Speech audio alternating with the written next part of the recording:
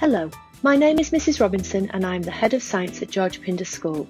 I am joined in the team by Mr Vickers, Mr Thompson, Miss Hall, Mrs Woodward, Mr Murray and Miss Pickering.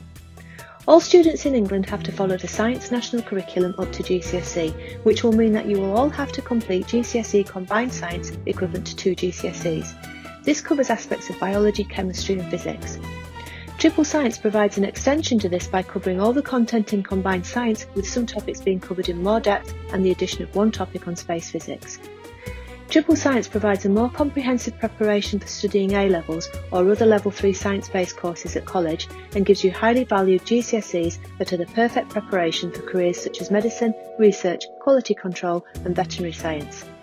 It will also help in a vast range of other careers and industries. Engineering, wildlife conservation and computing are a few examples.